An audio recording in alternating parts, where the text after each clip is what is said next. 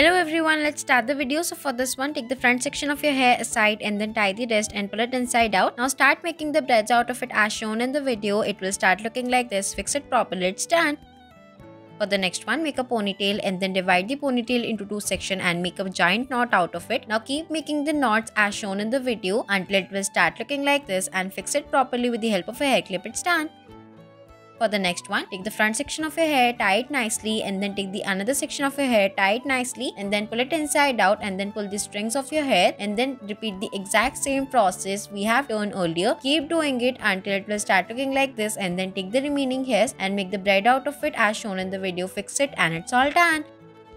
For the next one, take the section of your hair, tie it nicely with the help of the elastic and then take the remaining hairs and take the section out of it and pull it inside out nicely as shown in the video and then make a knot out of it as shown. It will start looking like this. Now repeat the exact same process on another side too and fix it properly. It's done. Cute, right?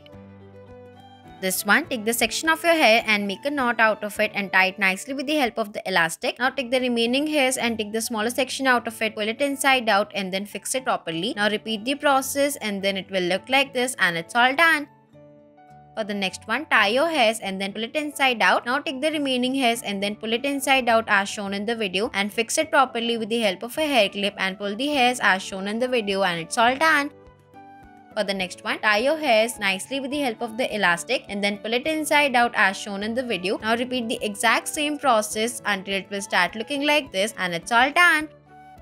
For the next one, make the half ponytail and then take the remaining hairs and then pull it inside out as shown in the video. Now take the remaining hairs and make a braid out of it very nicely and then fix it all and it's all done. Thanks for watching.